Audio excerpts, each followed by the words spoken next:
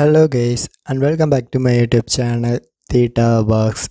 So today I will show you how to disable DM which means that direct message feature on your Discord platform and also disable all your friend requests from this Discord. So anyway how to do it?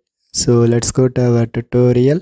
So first of all open your Discord mobile application and then complete your login processes. So now in this homepage section in bottom it shows three icons. So here you can press that third icon and this will help you to access your settings.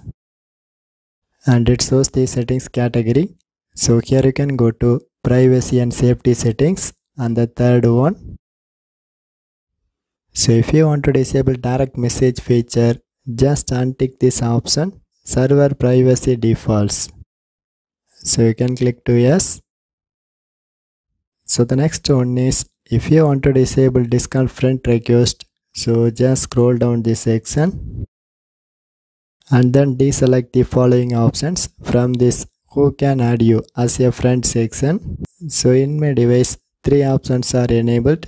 So simply untick everyone friends of friends and the server members.